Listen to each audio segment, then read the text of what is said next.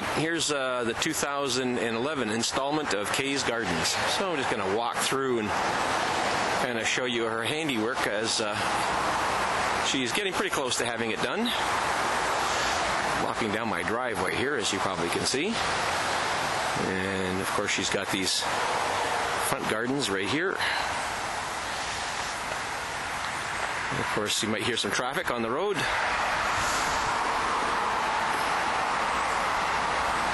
And we go. This is still one area that she's still kind of working on. Hasn't completely finished it, but it's coming along pretty nicely.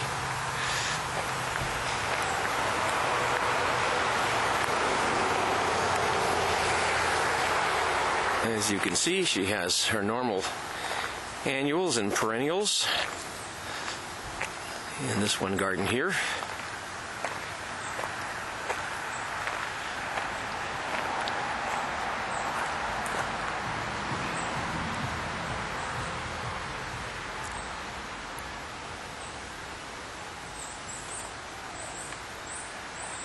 And I'm going to kind of go back to these gardens here. Walk through them.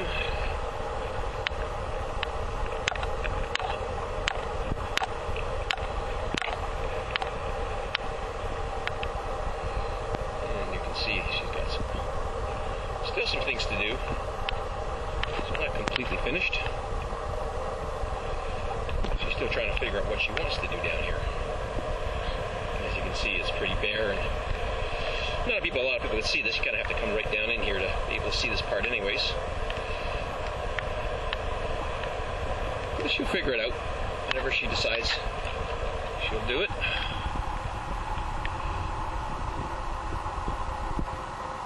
I kind of thought a nice little Japanese garden would be kind of nice.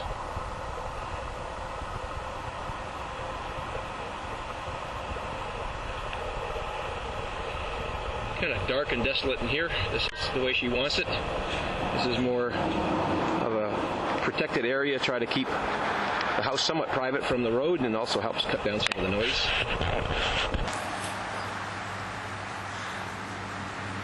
When it gets really wet in here, of course, lots of mosquitoes.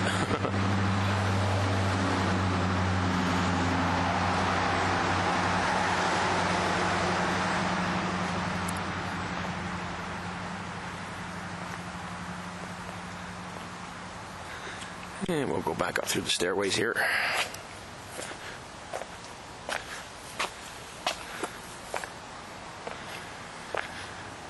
And the side yard.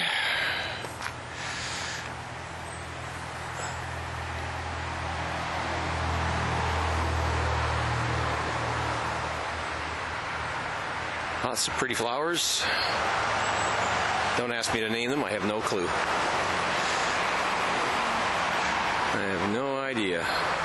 She knows, but I'm not really good at that stuff. I'm just good at taking pictures of it. And this is another area that's kind of pretty dark and dingy down there. Probably lots of mosquitoes, so I do not think I will go down there. But you get the idea.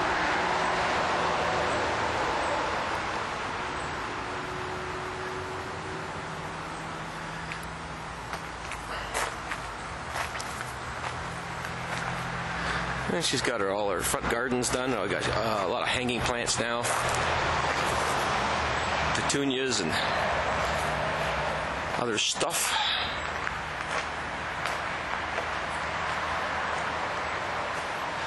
Looking pretty nice. This rose, these two rose bushes that she has in the front, they grow almost like trees by the end of the summer. They're literally as high as that hanging flower that you see up there.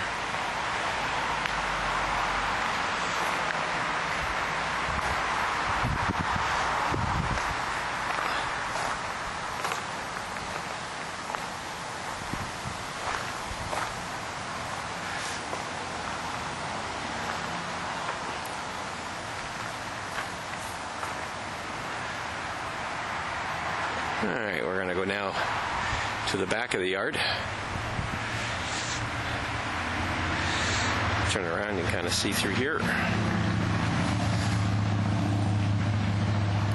The gardens are very much country-like. And of course, we're blessed with the fact that we have literally a lot of acreage here that we can really hide everything. So, I mean, we're really in the middle of the city, but you would never know it because of the fact that we're just a few hundred feet away from the lake and a lot of uh, of uh, various uh, vegetation. I'm going to take the lower route. There's there is a staircase, of course, in the upper deck here, as you can see. But I'm going to step down through the lower part here first.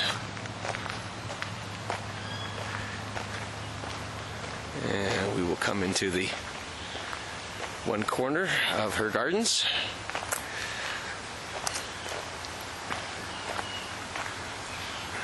Kind of stop here for a while so we can just kind of pan this a little bit.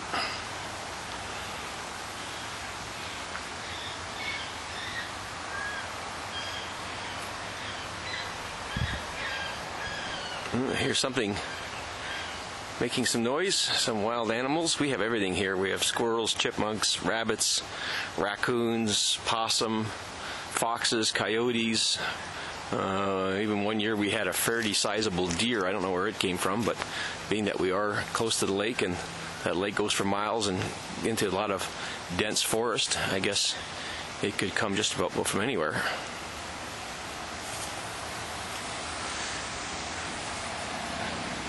A lot of tiers, of course, as always. You know, the tiered gardens is what I mean.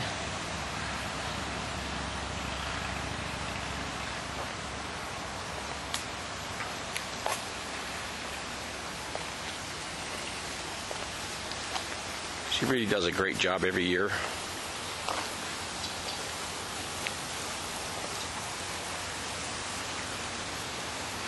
It's the area that I just came from.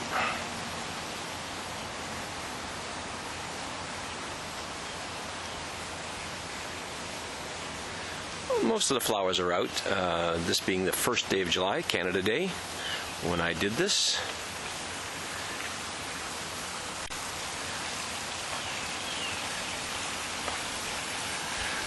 Of course, this is kind of the, to me, anyways, the the um, highlight of, of our backyard. Of course, is the the paths that lead to the water feature. You should kind of hear it kind of in the background now. Pardon the jiggling of the camera, but I am walking as I do this, as you've probably noticed.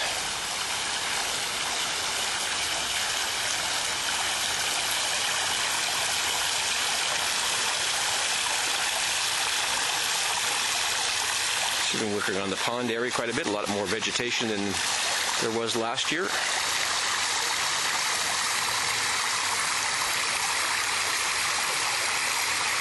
The fragrance out here is really quite nice. It's very, very pleasant to the uh, to the nose.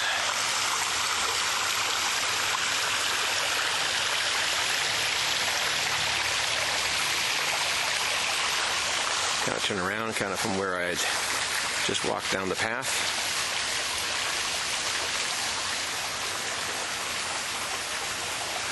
There's the big old pine trees are phenomenal.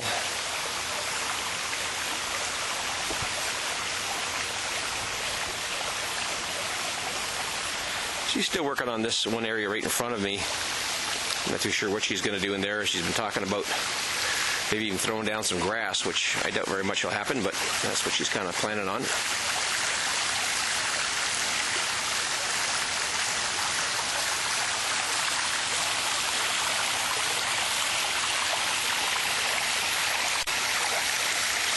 Everything's looking pretty good.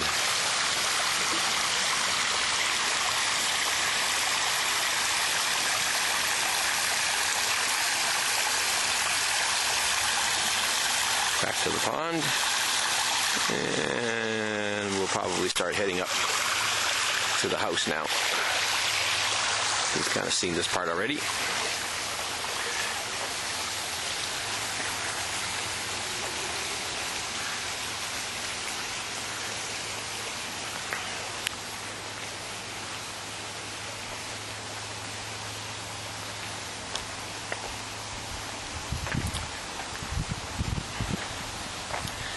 Of course, she's got all of our plants and pots and stuff.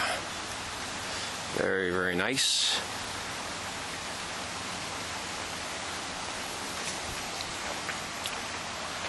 I'm going to try walking up the stairs without breaking my neck.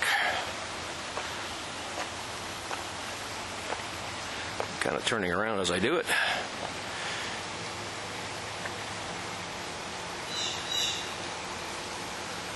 Quite quite nice, huh? There's some wildlife squawking in the background. This is, of course, a rose garden.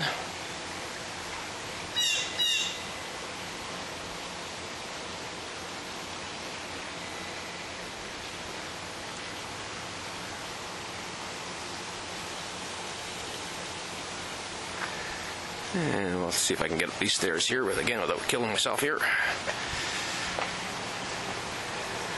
Bird feeders. Got lots of birds, especially this time of year.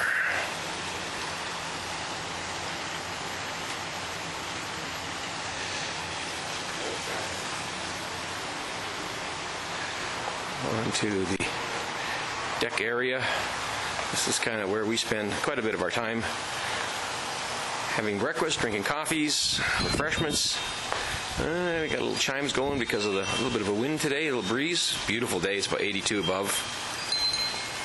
But this is a, our, our perch that we tend to sit at quite a bit and get an advantage. And I'm just going to pan around here and kind of see it from this particular angle. So another great year. A little late this year. We had such a terrible, terrible winter with tons and tons of snow and lots and lots of uh, rainy days in the spring was not the greatest. So kind of got started a little late in planting everything. But it's amazing. It's came together pretty quickly and we really enjoy it. So there you go. There's our little uh, quick 12 and a half minute video of Kay's Gardens, uh, version 2011. Hope you enjoyed it.